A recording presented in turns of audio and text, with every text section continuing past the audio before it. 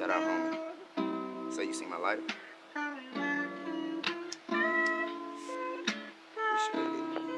Yeah, I never really thought that I would make it out the city. So many lives taken and so many bad decisions. So many hearts broken, but that's only the beginning. Conditions that we live often influence our position. That's why we turn cold. I wish the circumstance was different. But we gotta feed our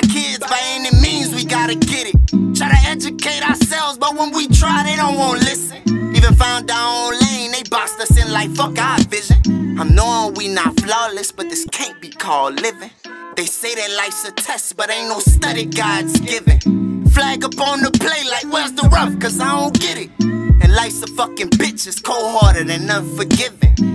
Knowing I'm like Jordan, still treating me like I'm Pippen. That's why I'm going harder, cause it's fuck the opposition. And I'm not a dream chaser, but my dreams I'm trying to grip it. And I know it's sad to say, but the toolie I'm steady gripping. I guess it's just the fact I'm from a city full of killers. Well, you better have a burner for your ass get caught slipping. Just when you start to popping, who shot you? You gone missing.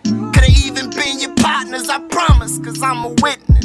Rest in peace, shalom. My son died up in my city. I just pray this brings some closure to the loved ones really miss him. Just know he's still around as he looking over his niggas. And shout out to my sister, that's her bro. I know she miss him. Man, this one for my nigga.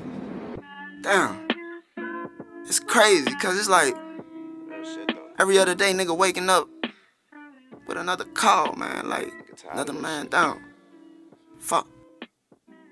RIP all the real niggas. And pray for my city, man. Real shit.